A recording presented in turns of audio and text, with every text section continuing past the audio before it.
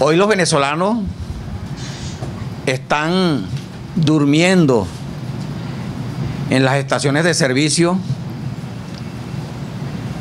esperando llenar el tanque de gasolina. En la industria petrolera es el desastre de un país, el caos en un país, el saqueo de un país, la demostración de que en dictadura ningún pueblo, ninguna nación avanza.